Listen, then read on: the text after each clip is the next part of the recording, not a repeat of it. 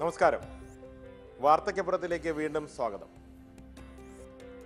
ഇന്ന് വാർത്തയ്ക്കപ്പുറം അവതരിപ്പിക്കുന്നത് കേരളത്തിലെ പ്രമുഖനായിട്ടുള്ള ഒരു എം പിയുടെ വീട്ടിൽ നിന്നാണ്. ഞാനിപ്പോൾ ഉള്ളത് എൻ കെ പ്രേമേന്ദ്രൻ എം പിയുടെ വസതിയിലാണ്. ശ്രീ എൻ കെ പ്രേമേന്ദ്രൻ സ്വാഗതം ഈ വാർത്തയ്ക്കപ്പുറത്തിലേക്ക് വാർത്തകൾ വളരെ വിശദമായി വിശകലനം ചെയ്യുന്ന ഒരു പരിപാടി കൂടിയാണ് വാർത്തയ്ക്കപ്പുറം എന്തായാലും പുതിയ വീടാണിത്.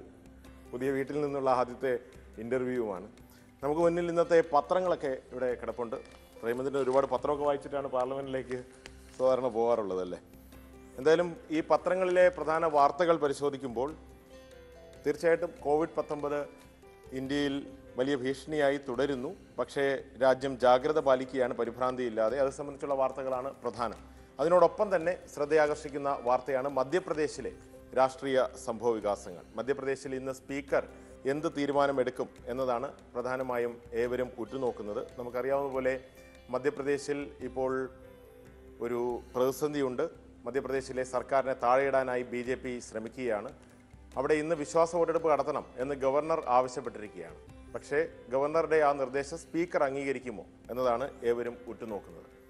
പക്ഷേ മധ്യപ്രദേശിലെ ഈ സംഭവ വികാസങ്ങൾക്കൊപ്പം തന്നെ ഇപ്പോൾ ഗുജറാത്തിൽ ബി ജെ പി ആയി സ്ത്രീ Gujarat R S seats S for Congress M L S quit എന്നൊരു വാർത്ത കൂടെ പുറത്തു വരുന്നു അതായത് കോൺഗ്രസിന്റെ നാല് എം എൽ എമാർ ഗുജറാത്തിലും രാജിവെച്ചിരിക്കുന്നു. അപ്പോൾ മധ്യപ്രദേശിലും ഒപ്പം ഗുജറാത്തിലും കോൺഗ്രസ് എം എൽ എമാരെ രാജിവെപ്പിച്ചുള്ള നീക്കം ഇപ്പോൾ ബി ജെ പി നടത്തുകയാണ്. അതിൽ അവർ വിജയിച്ചിരിക്കുന്നു. മാത്രമല്ല ഒരു ഏറ്റവും പ്രമുഖനായ നേതാവ് ജ്യോതിരാദിത്യ സിന്ധ്യയെ പാർട്ടിയിലേക്ക് കൊണ്ടുവരാനും ബി ജെ പിക്ക് കഴിഞ്ഞിരിക്കുന്നു. ഇക്കാര്യം വിശദമായി തന്നെ വാർത്തയ്ക്കപ്പുറം പരിശോധിക്കുകയാണ്. കോൺഗ്രസിന്റെ ഈ ഒരു തകർച്ച പരിശോധിക്കുകയാണ്. നമുക്ക് വീടിന് പുറത്തേക്ക് ഒന്ന് ഇറങ്ങിയാലും എന്തായാലും മധ്യപ്രദേശിലെ നിയമസഭാ നടപടികൾ പരിശോധിക്കുമ്പോൾ നിയമസഭയിലെ അംഗബലം എത്രയാണ് എന്നത് സംബന്ധിച്ചുള്ള കാര്യങ്ങൾ നമുക്ക് നോക്കാം. നിയമസഭയിൽ യഥാർത്ഥത്തിൽ ഇരുന്നൂറ്റി മുപ്പത് എം എൽ എമാരാണ് മധ്യപ്രദേശിലുള്ളത്. ഈ ഇരുന്നൂറ്റി മുപ്പത് എം എൽ എമാരിൽ ഇപ്പോൾ ഇരുന്നൂറ്റി ഇരുപത്തിയെട്ട് പേരേ ഉള്ളൂ. അതുകൊണ്ട് തന്നെ കേവല ഭൂരിപക്ഷത്തിന് ആവശ്യം നൂറ്റി പതിനഞ്ച് സീറ്റുകളാണ്. യഥാർത്ഥത്തിലുള്ള കക്ഷിതല പരിശോധിക്കുമ്പോൾ നൂറ്റി പതിനാല് പേർ കോൺഗ്രസിന്റെ ഭാഗത്തു നിന്നുണ്ട്. രണ്ട് പേർ ബി എസ് പിയിൽ നിന്നുണ്ട് ഒരാൾ എസ് പിയിൽ നിന്നുണ്ട് നാല് സ്വതന്ത്രരുമുണ്ട്. അപ്പോൾ ഇവരുടെ കൂടി പിന്തുണ കിട്ടിയാൽ കോൺഗ്രസിന് നിഷ്പ്രയാസം ഈ ഒരു വിശ്വാസ വോട്ടെടുപ്പിൽ വിജയിക്കാൻ കഴിയും. പക്ഷെ ബി ജെ പി ഇപ്പോൾ ചെയ്തിരിക്കുന്നത് ഇരുപത്തിരണ്ട് എം എൽ എമാരെ അവരുടെ പാളയത്തിലേക്ക് കൊണ്ടുവന്നിരിക്കുകയാണ്. അവരെ രാജിവെപ്പിച്ചിരിക്കുകയാണ്. അപ്പോൾ അങ്ങനെ വരുമ്പോൾ കോൺഗ്രസിന്റെ അംഗസംഖ്യ കുറയുകയാണ്. തൊണ്ണൂറ്റി മൂന്നിലേക്ക് അവരുടെ അംഗസംഖ്യ എത്തുന്നു. അവരെ പിന്തുണയ്ക്കുന്ന എല്ലാവരും കൂടി ചേർന്നാലും തൊണ്ണൂറ്റി ഒൻപത് എന്നുള്ള സംഖ്യയിലേക്ക് മാത്രമേ എത്തുകയുള്ളൂ. അതുകൊണ്ട് ബി ജെ പിക്ക് നൂറ്റിയേഴ് സീറ്റുകളുണ്ട്.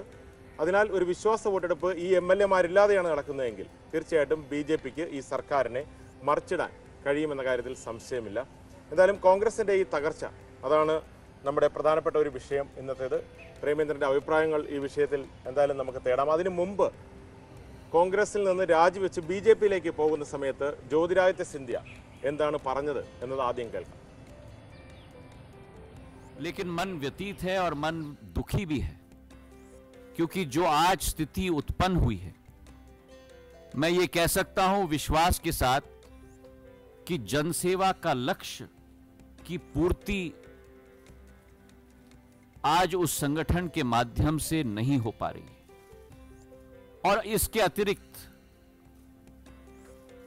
वर्तमान में जो स्थिति कांग्रेस पार्टी में है, वो कांग्रेस पार्टी आज नहीं रही जो पहले थी। और तीन मुख्य बिंदु हैं। एक तो वास्तविकता से इंकार करना और वास्तविकता से इंकार करके जो इबारत लिखी जाती है, उसका समावेश न करना जड़ता का एक जो वातावरण उत्पन्न है और उसी के साथ जो एक नई सोच, विचारधारा, जो एक नया नेतृत्व को सही मान्यता न मिलना എൻ കെ പ്രേമേന്ദ്രൻ എന്തായാലും ഇപ്പോൾ ജ്യോതിരാദിത്യ സിന്ധ്യ സംസാരിച്ചത് കോൺഗ്രസിന്റെ ഉള്ളിലെ വലിയ പ്രതിസന്ധിയെക്കുറിച്ചാണ് അദ്ദേഹം മൂന്ന് കാരണങ്ങൾ ചൂണ്ടിക്കാട്ടി അതിലൊരു പ്രധാനപ്പെട്ട കാരണം എന്താണ് യാഥാർത്ഥ്യം അക്കാര്യം തിരിച്ചറിയുന്നതിലും മനസ്സിലാക്കുന്നതിലും പരിഹാര നടപടികൾ സ്വീകരിക്കുന്നതിലും കോൺഗ്രസ് നേതൃത്വം പരാജയപ്പെട്ടിരിക്കുന്നു പിന്നെ അദ്ദേഹം പറയുന്നത് ജനങ്ങളെ സേവിക്കലാണ് തൻ്റെ ലക്ഷ്യം അതിന് ഇതിപ്പോൾ കോൺഗ്രസിൽ നിന്ന് കഴിയില്ല എന്നതുകൂടിയാണ് പ്രേമേന്ദ്രന്റെ പുതിയ വസതിയിലാണ് നമ്മളിപ്പോൾ നിൽക്കുന്നത്. കഴിഞ്ഞ പ്രാവശ്യം മറ്റൊരു വസതിയിലായിരുന്നു അല്ലേ? ആ കഴിഞ്ഞ ലോക്സഭയുടെ കാലയളവിൽ ഇതേ ലൈനിൽ തന്നെയാണ് ഒൻപതായിരുന്നു നമ്പർ ഇപ്പോൾ നാൽപ്പതിലേക്ക് മാറി. അതെ പാർലമെന്റിന്റെ സീനിയോറിറ്റി അനുസരിച്ച് വീടിന്റെ നിലവാരം ഇപ്പോൾ ടൈപ്പ് സെവൻ ബംഗ്ലാവാണ് കിട്ടിയിരിക്കുന്നത്. കുറച്ചുകൂടി സൗകര്യവും അതുപോലെ ലോണും സ്പേസും ഒക്കെ ഉള്ള പുതിയ വീടാണ്. പുതിയ വീട്ടിൽ താമസമാക്കിയതിന് ശേഷമുള്ള ആദ്യത്തെ ഒരു പ്രധാനപ്പെട്ട ഷൂട്ടാണ്. ഏതായാലും പ്രതിപക്ഷത്തെ ഒരു പ്രധാന ശബ്ദമാണ് എൻ കെ പ്രേമേന്ദ്രൻ പാർലമെന്റിൽ. പക്ഷേ ഒറ്റപ്പെട്ട ശബ്ദങ്ങൾ പാർലമെന്റിൽ മുഴങ്ങുമ്പോഴും ഒരു പാർട്ടി എന്ന രീതിയിൽ കോൺഗ്രസിനാകെ ഒരു പ്രതിപക്ഷമായി പ്രവർത്തിക്കാൻ വളരെ ശക്തമായി പ്രതിപക്ഷമായി പ്രവർത്തിക്കാൻ രാജ്യത്ത് കഴിയുന്നില്ല എന്നുള്ള ഒരു പരാതി വളരെ ശക്തമാണ്. അതിനുള്ള ഒരു കാരണം എന്തായി സ്വാഭാവികമാണ്. ഒന്ന് കോൺഗ്രസിനെ സംബന്ധിച്ചിടത്തോളം അല്ലെങ്കിൽ കോൺഗ്രസ് നേതൃത്വം നൽകുന്ന യു പി എയെ സംബന്ധിച്ചിടത്തോളമുള്ള അംഗസംഖ്യയുടെ കുറവ് തന്നെയാണ് ഏറ്റവും പ്രധാനപ്പെട്ട കാരണം. രണ്ട് കഴിഞ്ഞ രണ്ട് ലോക്സഭയിലും പരിശോധിച്ച് നോക്കിക്കഴിഞ്ഞാൽ മിക്കവാറും സ്റ്റാൾ വാൾസ് ആയിട്ടുള്ള മുഴുവൻ കോൺഗ്രസ് നേതാക്കളും തെരഞ്ഞെടുപ്പിൽ പരാജയപ്പെടുന്ന സ്ഥിതിയാണ്. വളരെ അപൂർവം പേർ മാത്രമാണ് സത്യത്തിൽ വളരെ ഫലപ്രദമായ വിഷയങ്ങൾ കൈകാര്യം ചെയ്യാൻ കഴിയുന്നവർ ഇപ്പോൾ പാർലമെന്റിലുള്ളത് ഇപ്പോൾ പാർലമെന്റിലുള്ള യു യു ഡി എഫ് അല്ലെങ്കിൽ യു പി എയുടെ സാന്നിധ്യം എന്ന് പറയുന്നത് കേരളം അതുപോലെ പഞ്ചാബ് എന്നീ രണ്ട് സംസ്ഥാനങ്ങളെ മാത്രം ആശ്രയിച്ചിട്ടാണ്. ദേശീയ തലത്തിലുള്ള ഒരു പ്രതിപക്ഷം എന്ന നിലയിലേക്ക് അതിശക്തമായി പലപ്പോഴും പ്രതിരോധം ഉയർത്തിക്കൊണ്ടുവരാൻ കഴിയുന്നില്ല. അതിന്റെ പ്രധാനപ്പെട്ട കാരണം ഞാൻ പറഞ്ഞതാണ് ഒന്ന് പരിമിതമായിട്ടുള്ള പാർലമെന്റിലെ അംഗസംഖ്യ. രണ്ട് വളരെ പ്രധാനപ്പെട്ട ഒരു വിഷയം തന്നെയാണ് ഹിന്ദി ഭാഷ. ഹിന്ദി ഭാഷയ്ക്ക് ഏറ്റവും കൂടുതൽ പ്രാമുഖ്യവും ഹിന്ദി ഭാഷയുടെ ഒരു അധിനിവേശം അടിച്ചേൽപ്പിക്കാൻ ബി ജെ പി ബോധപൂർവമായി പരിശ്രമിക്കുകയാണ്. നല്ലതുപോലെ ഇംഗ്ലീഷ് ഭാഷയിൽ സംസാരിക്കാൻ കഴിയുന്ന മന്ത്രിമാർ ബി ജെ പിക്ക് ഉണ്ടെങ്കിൽ പോലും അവർ വളരെ ബോധപൂർവമായി ഇംഗ്ലീഷ് സംസാരിക്കില്ല ഹിന്ദിയിലേ സംസാരിക്കും. എന്തിനേറെ പറഞ്ഞു ഇപ്പോൾ കിട്ടുന്ന കത്തുകൾ നമ്മൾ ഇംഗ്ലീഷിൽ കൊടുക്കുന്ന കത്തുകൾക്ക് പോലും തിരിച്ചു ലഭിക്കുന്ന മറുപടി ഹിന്ദിയാണ്. ആ രൂപത്തിൽ ഹിന്ദിയുടെ അമിതമായ ഒരു സ്വാധീനവും അതിന്റെ ഒരു അധിനിവേശവും നടന്നുകൊണ്ടിരിക്കുന്ന ഒരു കാലയളവിൽ പ്രത്യേകിച്ച് North Indian belt Hindi belt cow belt എന്നൊക്കെ വിശേഷിപ്പിക്കുന്ന ബി ജെ പിയുടെ ശക്തി കേന്ദ്രങ്ങളിലൊക്കെ നിർണായകമായ സ്വാധീനം ചെലുത്താൻ കഴിയുന്ന ഹിന്ദി ഭാഷ ഫലപ്രദമായി വിനിയോഗിക്കാൻ കഴിയുന്ന നല്ല സ്പീക്കേഴ്സിന്റെ എണ്ണം സത്യത്തിൽ ഇന്ന് പ്രതിപക്ഷത്തില്ല. അതൊരു പ്രധാനപ്പെട്ട പ്രശ്നം തന്നെയാണ്. യഥാർത്ഥത്തിൽ രാഹുൽ ഗാന്ധി അദ്ദേഹത്തിന് കഴിഞ്ഞ അഞ്ച് കൊല്ലവും ഒരു പ്രതിപക്ഷ നേതാവായി ഉയരാനുള്ള ഒരു സ്പേസ് ഉണ്ടായിരുന്നു. ഇപ്പോൾ വീണ്ടും ഒരു പ്രതിപക്ഷത്തെങ്കിലും ഒരു പ്രധാന ശബ്ദമായി ഉയരാനുള്ള ഒരു സ്പേസ് ഉണ്ട്. ഒരു നേതൃ ദൗർബല്യം കോൺഗ്രസിലുണ്ടോ അത് നല്ലതുപോലെ ഫീൽ ചെയ്യുന്നുണ്ട്. എന്റെ അഭിപ്രായത്തിൽ രാഹുൽ ഗാന്ധി പ്രതിപക്ഷ നേതൃസ്ഥാനം ഏറ്റെടുത്തുകൊണ്ട് പ്രതിപക്ഷത്തിന്റെ ആക്രമണത്തിന് പ്രത്യാക്രമണത്തിന് മൂർച്ച കൂട്ടണം കാരണം രാജ്യം മുൻപൊരിക്കലും നേരിട്ടിട്ടില്ലാത്ത കനത്ത പ്രതിസന്ധിയിലൂടെ രാജ്യം കടന്നു പോകുന്ന ഒരു പശ്ചാത്തലത്തിൽ വേണം. ആ ചുമതലയും ഉത്തരവാദിത്വവും ഏറ്റെടുത്ത് ഫൈറ്റ് ചെയ്യാൻ തയ്യാറായി രാഹുൽ ഗാന്ധി രംഗത്തേക്ക് വന്നാൽ മുന്നോട്ട് വന്നാൽ വലിയൊരു മോറൽ ബൂസ്റ്റിംഗ് ആയിരിക്കും പ്രതിപക്ഷത്തിന് മൊത്തത്തിൽ കിട്ടുന്ന യു പി ഐക്കെന്നല്ല രാജ്യത്താകെയുള്ള പ്രതിപക്ഷത്തിന് കിട്ടുന്നത്. നിർഭാഗ്യവശാൽ അത്തരത്തിലൊരു നീക്കം ഉണ്ടാകുന്നില്ല. പാർലമെന്റിൽ പലപ്പോഴും നമ്മൾ ആഗ്രഹിക്കുന്ന രൂപത്തിൽ ഗവൺമെന്റിനെ പ്രതിരോധിക്കാൻ കഴിയുന്നില്ല. അംഗബലം പരിമിതമാണെങ്കിൽ പോലും ഇതിനേക്കാൾ കുറെ കൂടി മെച്ചപ്പെട്ട സ്ഥിതിയായിരുന്നു കഴിഞ്ഞ പ്രാവശ്യം. പതിനാറാം ലോക്സഭയിൽ രാഹുൽ ഗാന്ധിയുടെ ഒരു താല്പര്യക്കുറവാണോ അതിലൊരു പ്രധാന വിഷയമായി കാണുന്നത്. കാരണം ഇപ്പോൾ ജ്യോതിരാദിത്യ സിന്ധ്യയും മറ്റും പുറത്തു പോകുമ്പോഴും പറയുന്നത് യാഥാർത്ഥ്യം എന്തെന്ന് തിരിച്ചറിയാൻ നേതൃത്വത്തിനാവുന്നില്ല എന്നാണ്. രാഹുൽ ഗാന്ധിയുടെ സ്ഥിതിയെ സംബന്ധിച്ച് നമുക്ക് ആർക്കും പ്രവചിക്കാൻ കഴിയുന്നില്ല. കാരണം ഇപ്പോൾ സത്യത്തിൽ ശ്രീമതി സോണിയാഗാന്ധി അഖിലേന്ത്യാ കോൺഗ്രസ് കമ്മിറ്റിയുടെ പ്രസിഡന്റാണ് എന്നൊക്കെ പറയാമെങ്കിൽ പോലും അവർക്ക് അനാരോഗ്യത്തിന്റെ പ്രശ്നങ്ങളുണ്ട്. അവർക്ക് പരിമിതികൾ ധാരാളമുണ്ട്. പക്ഷേ ഏറ്റവും നല്ല ഏറ്റവും നല്ല കോൺഗ്രസിനെ ഏറ്റവും ശക്തമായി രാജ്യത്ത് നയിച്ചതിൽ ഏറ്റവും പ്രധാനപ്പെട്ട വ്യക്തിത്വമെന്ന് വിശേഷിപ്പിക്കാൻ കഴിയുന്നയാളാണ് മാഡം സോണിയാഗാന്ധി പക്ഷേ ഇപ്പോൾ അവർക്ക് അവരുടേതായിട്ടുള്ള പരിമിതികളുണ്ട്. ആ ഒരു സാഹചര്യത്തിൽ ഒരു ലീഡർഷിപ്പ് വാക്വം ഒരു നേതൃദാരിദ്ര്യമല്ല നേതൃശൂന്യത ഇന്ന് കോൺഗ്രസ്സിൽ അനുഭവപ്പെടുന്നു. ആ നേതൃശൂന്യതയാണ് സത്യത്തിൽ ഇന്ന് ബി ജെ പി വളരെ ഫലപ്രദമായി വിനിയോഗിച്ചുകൊണ്ടിരിക്കുന്നത്. അവരുപയോഗിച്ചുകൊണ്ടിരിക്കുന്നത് അത് തന്നെയാണ്. അങ്ങനെ ഒരു ഫീലിംഗ് പബ്ലിക്കിന്റെ മുമ്പിൽ എന്തായാലും ഉണ്ട്. ഈ ജ്യോതിരാദിത്യ സിന്ധ്യയെ പോലുള്ള നേതാക്കൾ താങ്കളുമായിട്ട് അടുത്ത ഒരു ബന്ധമുണ്ടായിരുന്ന ഒരു നേതാവ് ഞാൻ കഴിഞ്ഞ പ്രാവശ്യം കണ്ടിട്ടുണ്ട് തണുപ്പ് കാലത്ത് താങ്കൾക്ക് ഒരു ജാക്കറ്റൊക്കെ ജ്യോതിരാദിത്യ സിന്ധ്യ കൊണ്ടുവരുന്നത്. അപ്പോൾ അത്രയും അടുപ്പമുള്ള നേതാക്കൾ കോൺഗ്രസിൽ നിന്ന് ഒരുപക്ഷെ ഒരു പ്രതിപക്ഷ മുഖമായി ഉയർന്നു വരാൻ സാഹചര്യം ഉണ്ടായിരുന്ന ഒരു നേതാവ് പുറത്തുപോയ ഒരു സാഹചര്യത്തെ എങ്ങനെ കാണും? വളരെ നിർഭാഗ്യകരമാണ്. സത്യത്തിൽ ജ്യോതിരാദിത്യ സിന്ധ്യ കോൺഗ്രസ് വിട്ടത് വളരെ നിർഭാഗ്യകരമാണ്. അദ്ദേഹം ബി ജെ പിയിൽ ചേർന്നത് അതിനേക്കാൾ നിർഭാഗ്യകരവും ഒരു തരത്തിലും നമുക്ക് യോജിക്കാൻ കഴിയാത്തതാണ് കോൺഗ്രസിനോടും കോൺഗ്രസ് രാഷ്ട്രീയത്തോടും കോൺഗ്രസിന്റെ സംഘടനാ നേതൃത്വത്തോടും അഭിപ്രായ വ്യത്യാസമുണ്ടായി അദ്ദേഹം മറ്റൊരു നിലപാട് സ്വീകരിച്ചാൽ നമുക്ക് മനസ്സിലാക്കാൻ പറ്റും. പക്ഷേ അദ്ദേഹം ബി ജെ പിയിൽ ഒരു സുപ്രഭാതത്തിൽ പോയി ചേർന്നതിന് ശേഷം ഈ ഉയർത്തുന്ന ഒരു വാദവും നിങ്ങളോട് യോജിക്കാൻ കഴിയുന്നില്ല. ഇപ്പം നേരത്തെ പ്രശാന്ത് തന്നെ പറഞ്ഞ മൂന്ന് കാരണങ്ങളിൽ ഒരു കാരണം അദ്ദേഹത്തിന് ജനങ്ങളെ സേവിക്കണം എന്നുള്ളതാണ്. ജനങ്ങളെ സേവിക്കാൻ അദ്ദേഹം ബി ജെ പിയിലേക്ക് എത്തുന്നു എന്ന് പറയുന്നതിനകത്ത് ഒരു യുക്തിയുമില്ല. അത് കോൺഗ്രസ് നേതൃത്വത്തോടുള്ള അഭിപ്രായ വ്യത്യാസം ഒന്ന്. അല്ലെങ്കിൽ തനിക്ക് മതിയായ പരിഗണനയും പ്രാധാന്യവും നേതൃതലത്തിൽ ലഭിക്കുന്നില്ല എന്നുള്ള അദ്ദേഹത്തിന്റെ ഫീലിംഗ് ആയിരിക്കാം ഒരുപക്ഷെ ഒന്ന്. രണ്ട് അധികാരത്തോടുള്ള അമിതമായിട്ടുള്ള താല്പര്യം. ഈ രണ്ട് ഘടകങ്ങളായിരിക്കാം ഒരുപക്ഷെ അദ്ദേഹത്തെ ബി ജെ പി ഒരുപാട് എം പിമാരുമായിട്ടൊക്കെ സംസാരിക്കുന്നതാണ്. പാർട്ടിക്ക് അകത്തുള്ള വിഷയങ്ങൾ അല്ലെങ്കിൽ കോൺഗ്രസിനകത്ത് വിഷയങ്ങൾ. അവരുടെ ഒരു ഫീലിംഗ് എന്താണ്? കോൺഗ്രസിനകത്ത് നടക്കുന്ന സംഭവ വികാസങ്ങളെ സംബന്ധിച്ച് അവർക്കൊരു പ്രതീക്ഷയുണ്ടോ ഈ പാർട്ടിയെക്കുറിച്ച്? അല്ല പ്രതീക്ഷ കോൺഗ്രസ് അല്ലാതെ മറ്റൊരു ബദൽ ഇന്നത്തെ ഇന്ത്യൻ രാഷ്ട്രീയ സാഹചര്യത്തിൽ ബി ജെ പിക്ക് ഒരു രാഷ്ട്രീയ ബദൽ കോൺഗ്രസ് അല്ലാതെ മറ്റൊന്നില്ല. കോൺഗ്രസിന്റെ നേതൃദാരിദ്ര്യവും നേതൃ പ്രശ്നവും സംഘടനാപരമായ പ്രശ്നങ്ങളൊക്കെ ഉണ്ടെങ്കിൽ പോലും അതിന്റെ അഖിലേന്ത്യാ തലത്തിലെ സാന്നിധ്യം ഒരിക്കലും ആർക്കും വിസ്മരിക്കാൻ കഴിയില്ല. അത്രത്തോളം വേരോട്ടമുള്ള അത്രത്തോളം ബഹുജനാടിത്തറയുള്ള ഒരു രാഷ്ട്രീയ പ്രസ്ഥാനം ഇന്ത്യൻ സ്വാതന്ത്ര്യ സമരത്തിന്റെ ലെഗസി അവകാശപ്പെടാൻ കഴിയുന്ന ഏക രാഷ്ട്രീയ പ്രസ്ഥാനമാണ്. ആ ഒരു രാഷ്ട്രീയ പ്രസ്ഥാനത്തിന് അതിന്റേതായിട്ടുള്ള പങ്ക് ഇന്നും ഇന്ത്യൻ രാഷ്ട്രീയത്തിൽ നിർവഹിക്കാൻ കഴിയും. പക്ഷേ അവസരോചിതമായി സംഘടനാപരമായി അതിനെ പ്രയോജനപ്പെടുത്തി കൊണ്ടുപോകാൻ നിർഭാഗ്യവശാൽ ഇന്ന് കോൺഗ്രസിന് കഴിയുന്നില്ല എന്നുള്ളതൊരു യാഥാർത്ഥ്യമാണ്. ആ കാര്യത്തിൽ താങ്കളെ പോലുള്ള തീർച്ചയായിട്ടും. ഘടകകക്ഷികൾക്ക് നിരാശയുണ്ട്. എല്ലാവർക്കും എല്ലാവർക്കും മാതൃ കാരണം ഞാൻ പറഞ്ഞില്ല ഇപ്പോൾ രാഹുൽ ഗാന്ധി നിർണായകമായ തെരഞ്ഞെടുപ്പിൽ ഏറ്റവും ശക്തമായ നിലയിൽ അദ്ദേഹം നേതൃത്വം കൊടുക്കും ഞങ്ങളെല്ലാം വലിയ പ്രതീക്ഷയോട് എന്നാൽ അദ്ദേഹം ആഗ്രഹിച്ച ഫലം തെരഞ്ഞെടുപ്പിലുണ്ടായില്ല. അതിന് ഘടകങ്ങളും കാരണങ്ങളും വേറെയാണ്. അദ്ദേഹത്തിന്റെ വീഴ്ചയല്ല.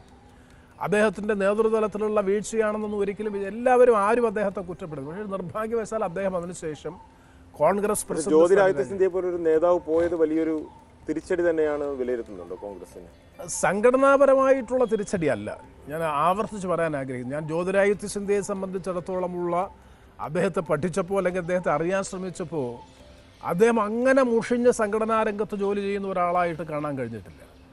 പക്ഷേ ഒരു മുഖം മതേതര ജനാധിപത്യ രാഷ്ട്രീയത്തിന്റെയും കോൺഗ്രസിന്റെയും ഒരു മുഖം നഷ്ടപ്പെടുന്നു. പ്രത്യേകിച്ചും നോർത്ത് ഇന്ത്യൻ ബെൽറ്റിൽ ഹിന്ദി ബെൽറ്റിൽ തീർച്ചയായിട്ടും. നേരത്തെ പറഞ്ഞതുപോലെ ഹിന്ദി നന്നായിട്ട് സംസാരിക്കാൻ കഴിയാവുന്ന ആ ആൾക്കാരുമായി സംസാരിക്കാൻ കഴിയാവുന്ന ഒരു നേതാവായിരുന്നു ജ്യോതിരാദിത്യ സിന്ധ്യയെ കഴിഞ്ഞ തെരഞ്ഞെടുപ്പ് കാലത്ത് രണ്ടായിരത്തി പതിനെട്ടിലെ അവിടുത്തെ നിയമസഭാ തെരഞ്ഞെടുപ്പ് കാലത്ത് ഏഷ്യാനെറ്റ് ന്യൂസ് കണ്ടിരുന്നു. അദ്ദേഹത്തിന്റെ വാഹനത്തിൽ ഞാൻ സഞ്ചരിച്ചിരുന്നു. ആ സമയത്ത് ജ്യോതിരാദിത്യ സിന്ധ്യ നമ്മളോട് പറഞ്ഞ വാക്കുകൾ ഒരിക്കൽ കൂടി കേൾക്കാം. Well, the BJP is on the way out, and uh, people have made up their mind to bring in a con- Congress government. It will be a government that will serve the people. It will be a government that will be at the doorstep of the people. It will be a people's government. Will you take up the mantle of the chief minister if uh, Congress is coming back in We are all working unitedly. Our single purpose is to make sure that a Congress government is established in Madhya Pradesh. That is our uh, only goal at this point of time. After the government is formed, whatever decision the Congress president takes, as a loyal party worker, it has to it is acceptable to all of us. കഴിഞ്ഞ പ്രാവശ്യം തെരഞ്ഞെടുപ്പ് സമയത്താണ് ജ്യോതിരാദിത്യ സിന്ധ്യ ഇത്തരം വാക്കുകൾ ഉപയോഗിച്ച് നമ്മളോട് സംസാരിച്ചത്. രാഹുൽ ഗാന്ധി എന്ത് പറയുന്നുവോ അതായിരിക്കും താൻ അനുസരിക്കുക എന്നാണ് ജ്യോതിരാദിത്യ സിന്ധ്യ പറഞ്ഞത്. ആ രാഹുൽ ഗാന്ധിയുമായി തെറ്റി ഇപ്പോൾ ജ്യോതിരാദിത്യ സിന്ധ്യ പാർട്ടിക്ക് പുറത്തേക്ക് പോയിരിക്കുകയാണ്. എന്തായാലും ഒരു ഇടവേള അനിവാര്യമായി വന്നിരിക്കുന്നു. ഇടവേളയ്ക്ക് ശേഷം മാധ്യമപ്രവർത്തകൻ ശ്രീ വെങ്കടേഷ് രാമകൃഷ്ണനും കോൺഗ്രസിന്റെ ഇപ്പോഴത്തെ ഈ പ്രതിസന്ധിയെക്കുറിച്ച് സംസാരിക്കാൻ നമ്മളോടൊപ്പം ചേരും. ശ്രീ എൻ കെ പ്രേമേന്ദ്രൻ തുടരും. പെട്ടെന്ന് തിരിച്ചു വരാം.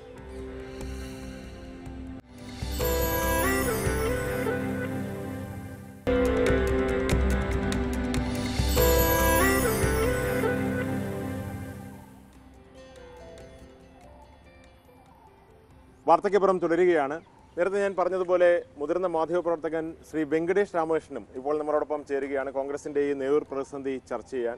ശ്രീ വെങ്കടേഷ് രാമകൃഷ്ണൻ ജ്യോതിരാദിത്യ സിന്ധ്യയെ പോലൊരു നേതാവിനെ തന്നെ ഇപ്പോൾ കോൺഗ്രസിന് നഷ്ടമായിരിക്കുന്നു.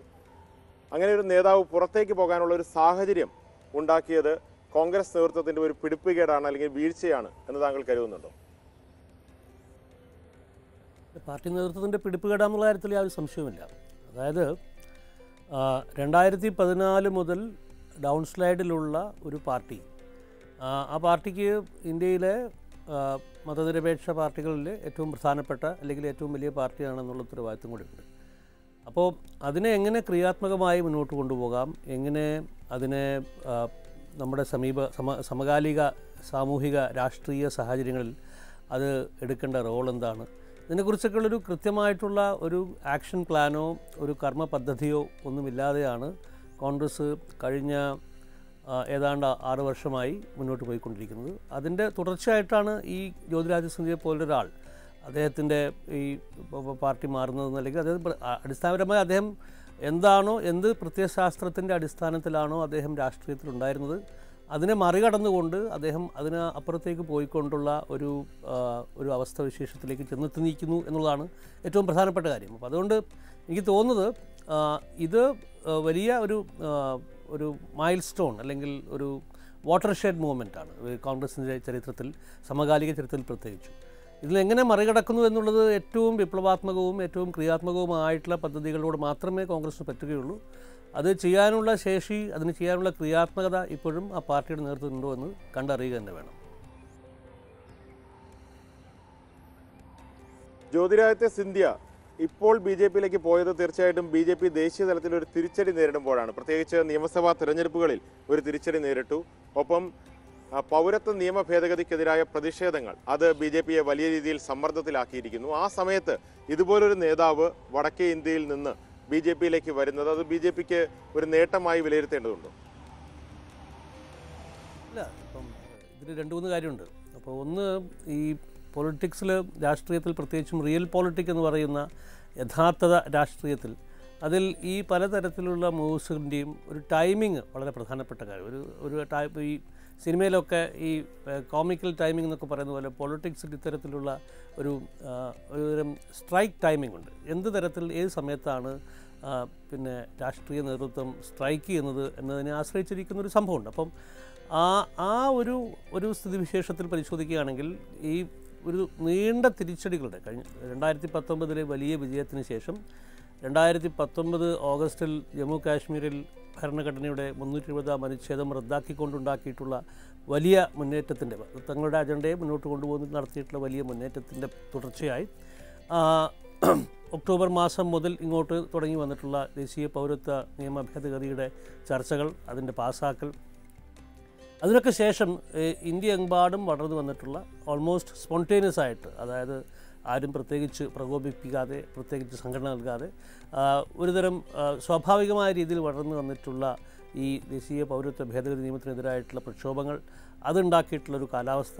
ആ കാലാവസ്ഥയുടെ തുടർച്ചയായി മഹാരാഷ്ട്രയിലും പിന്നെ ജമ്മു കാശ്മീർ ജാർഖണ്ഡിലും ഉണ്ടായിട്ടുള്ള പരാ തിരഞ്ഞെടുപ്പ് പരാജയങ്ങൾ ഇതിനെല്ലാം കൂടെ ആകത്തുകയിൽ പരിശോധിക്കുമ്പോൾ രണ്ടായിരത്തി പത്തൊമ്പതിലെ വലിയ ഹൈയിൽ നിന്ന് അത് കണ്ടിന്യൂ ചെയ്യാൻ അത് നിലനിർത്തിക്കൊണ്ടുപോകാൻ പറ്റാത്തൊരു സാഹചര്യത്തിലാണ് ബി ജെ പി നേതൃത്വവും. പ്രത്യേകിച്ച് പ്രധാനമന്ത്രി നരേന്ദ്രമോദിയും ആഭ്യന്തരമന്ത്രി അമിത്ഷായും ഉണ്ടായിരുന്നത് അപ്പം അങ്ങനൊരു സാഹചര്യത്തിൽ ഈ ഏറ്റവും ഒടുവിൽ ഡൽഹിയിലെ കൂടി തിരഞ്ഞെടുപ്പിന്റെ തിരിച്ചടിയുടെ പശ്ചാത്തലത്തിൽ പരിശോധിക്കുന്ന സമയത്ത് ഇത് ഒരു റിയൽ പോളിറ്റിക്കിന്റെ തലത്തിൽ ഒരു വലിയ സ്ട്രൈക്കാണ് ഒരു മേജർ സ്ട്രൈക്ക് ഒരു വലിയ നേതാവിനെ കോൺഗ്രസിൽ നിന്ന് വളരെ സീനിയറായിട്ടുള്ള ആ, പാർട്ടിയുടെ മുൻ അധ്യക്ഷനായിരുന്ന ആ പാർട്ടിയുടെ ഏറ്റവും പ്രധാനപ്പെട്ട നേതാവ് നേതാക്കന്മാരൊരാളെ ഇപ്പോഴും തുടരുന്ന രാഹുൽ ഗാന്ധിയുടെ ഏറ്റവും അടുത്ത വിശ്വസ്തനായിട്ടുള്ള അനുയായി എന്ന് വിശേഷിപ്പിക്കപ്പെടുന്ന ഒരു വ്യക്തിയെ തങ്ങളുടെ പക്ഷത്തിലേക്ക് കിട്ടുക. അത് ആ ഒരു പൊളിറ്റിക്കൽ ടൈമിങ്ങിന്റെ ലെവലിൽ ഒരു വളരെ പ്രധാനപ്പെട്ട കാര്യമാണ്. അതുപോലെ തന്നെ മധ്യപ്രദേശിലെ വളരെ നിർണായകമായ സർക്കാരിനെ താഴത്തിടാൻ വേണ്ടി പറ്റുക എന്നുള്ളതും വളരെ നിർണായകമായ കാര്യമാണ്. അതിപ്പം എങ്ങനെയാണത് റോൾ ഔട്ട് ചെയ്യുന്നത് നമ്മളിപ്പം വരുന്ന സമയങ്ങളിൽ കാണാൻ പോകുന്നതേ ഉള്ളൂ. പക്ഷേ എന്തായാലും ഇത് തീർച്ചയായും ഒരു വലിയ സ്ട്രൈക്കാണ് പിന്നെ ജ്യോതിരാദിത്യ സിന്ധ്യയെ സംബന്ധിച്ചിടത്തോളം അദ്ദേഹത്തിന് കോൺഗ്രസിനകത്ത് കിട്ടിയിട്ടുള്ള പ്രാധാന്യവും അദ്ദേഹത്തിന് കോൺഗ്രസ് കിട്ടിയിട്ടുള്ള അദ്ദേഹത്തിന് കിട്ടിയിട്ടുള്ള ഒരു ലീവേയും കാര്യങ്ങളൊക്കെ ചെയ്യാൻ വേണ്ടിയുള്ള അദ്ദേഹത്തിനുള്ള ഒരു സ്വാതന്ത്ര്യവുമൊക്കെ ബി ജെ പിക്കകത്ത് പ്രത്യേകിച്ചും മോദിയും അമിത്ഷായും വലിയ നിയന്ത്രണം നടത്തിക്കൊണ്ടിരിക്കുന്ന ഒരു പാർട്ടിക്കകത്ത് ലഭിക്കുമോ എന്ന് കണ്ടു തന്നെ അറിയണം.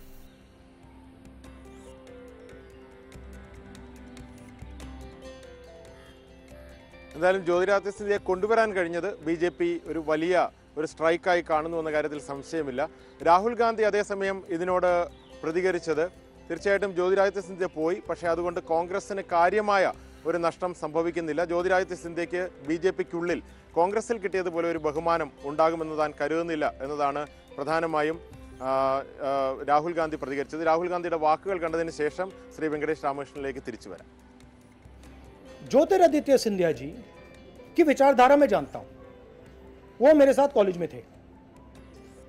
बातचीत चली है मेरी मैं उनको बहुत अच्छी तरह जानता हूँ। ज्योतिरादित्य सिंधिया जी को अपने पॉलिटिकल भविष्य का डर लग गया।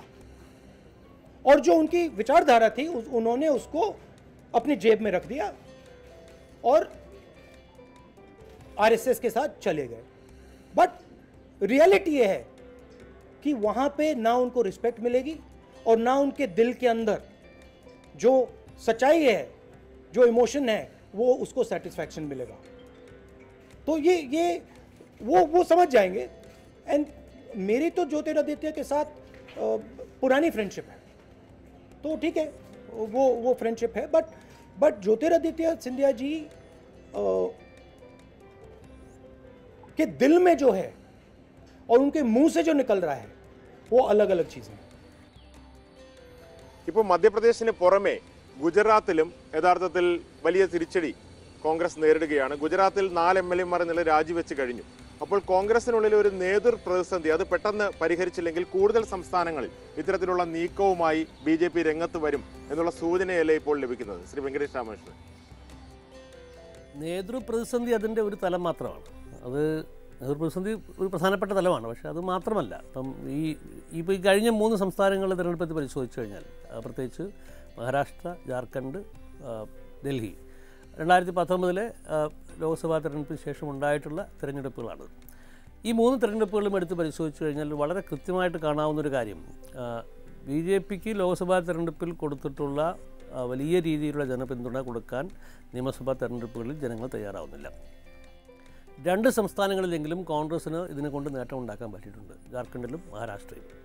അപ്പോൾ കോൺഗ്രസ് റൈറ്റ് ഓഫ് ചെയ്യപ്പെടുന്ന ഒരു ഒരു ഒരു ഒരു സംഘടനാ സ്ഥിതിയല്ല സംസ്ഥാനങ്ങളിലുള്ളത് തൃണമൂലങ്ങളിലുള്ളത് എന്നുള്ളതാണ് ഏറ്റവും പ്രധാനപ്പെട്ട ഒരു കാര്യം.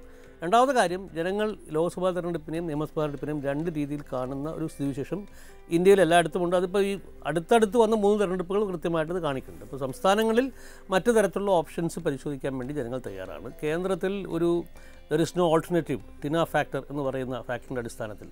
നരേന്ദ്രമോദിക്ക് പകലം വയ്ക്കാൻ ആരുമില്ല എന്ന് പറയുന്ന ഒരു ഫാക്ടറിന്റെ അടിസ്ഥാനത്തിൽ മുന്നോട്ട് പോകാൻ വേണ്ടി ആൾക്കാർ മോദിയെ പിന്തുണയ്ക്കാൻ വേണ്ടി തയ്യാറാവുന്നുണ്ട്. അപ്പോൾ ഇത് ഈ രണ്ട് തരത്തിലുള്ള ഒരു സമീപനം ജനങ്ങളുടെ ഭാഗത്തു നിന്നുണ്ട് അപ്പം ഇത് ഒരു തരത്തിൽ ജനങ്ങളുടെ ആശയാഭിലാഷങ്ങളുമായി ജനങ്ങൾ കാ സ്വീകരിക്കുന്ന രാഷ്ട്രീയ ചോയ്സസുമായി അവർ സ്വീകരിക്കുന്ന അവർക്ക് അവർ അവർ രാഷ്ട്രീയത്തിൽ സ്വീകരിക്കുന്ന ഓരോരോ ചോയ്സ് ഓരോ അവർ സ്വീകരിക്കുന്ന ഓരോ വഴികൾ ആ വഴികളെയൊക്കെ എങ്ങനെ മൂർത്തമായ രീതിയിൽ രാഷ്ട്രീയമായ അർത്ഥത്തിൽ സാമൂഹികമായ അർത്ഥത്തിൽ അതിനെയൊക്കെ പ്രതിനിധീകരിക്കാൻ പറ്റുന്ന ഒരു രാഷ്ട്രീയ നേതൃത്വമാണ് ഉണ്ടാവേണ്ടത്. അതുണ്ടാവണമെങ്കിൽ കോൺഗ്രസിനകത്ത് ആത്യന്തികമായി അല്ലെങ്കിൽ ആദ്യമായി തന്നെ ഉണ്ടാവേണ്ടത് ഒരു ഉൾപാർട്ടി ജനാധിപത്യത്തിന്റെ ഒരു അവസ്ഥ ഉണ്ടാവണം. അതില്ലാതായിട്ട് എത്രയോ കാലമായി. അപ്പോൾ അതിലേക്ക് തിരിച്ചു പോകാൻ ഒക്കെ വലിയ യാത്രയാണ്. അത് അത്ര എളുപ്പത്തിൽ നടക്കുന്ന ഒരു കാര്യമായിട്ട് എനിക്ക് തോന്നുന്നില്ല. അപ്പം ആ ഒരു ദീർഘയാത്ര നടത്താൻ വേണ്ടി കോൺഗ്രസിന്റെ നേതൃത്വം തയ്യാറാണോ?